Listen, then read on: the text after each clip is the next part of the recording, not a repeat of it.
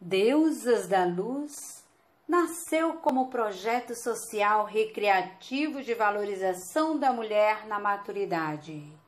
Adveio de um convite do Shopping Benfica através da Fátima Monte, o que inspirou ao estilista, coreógrafo, produtor de eventos e criador da agência de modelos que leva o seu nome Felipe Florence, a continuar por sua conta e risco, treinando essas lindas mulheres e preparando-as não só para o desfile no Shopping Benfica, mas para brilhar em outras passarelas, como por exemplo a Mademoiselle da Maturidade, além de vários outros desfiles a citar Feira Internacional de Arte, Artesanato e Cultura do Sebrae, Feira Fama, Shopping Bucuripe, Escolha da Rainha Sapiranga,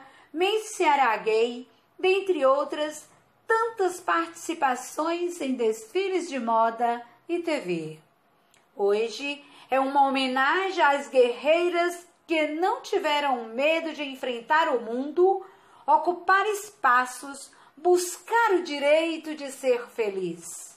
Deusas da Luz não é apenas um grupo de mulheres que ainda lutam contra os preconceitos da beleza meramente estética e da juventude institucionalizada como padrão feminino imperativo obrigatório.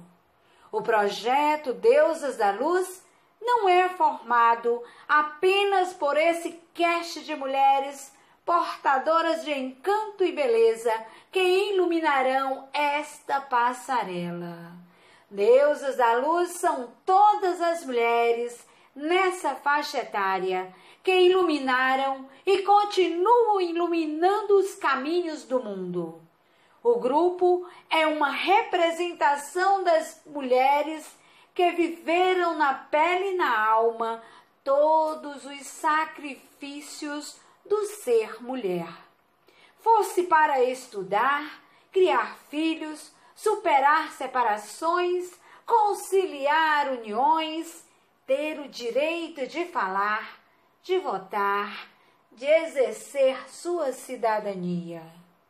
Saudamos agora as deusas da luz das passarelas e das plateias, com uma linda frase de reconhecimento de um homem, o cantor e compositor Erasmo Carlos. Mulher, mulher, na escola que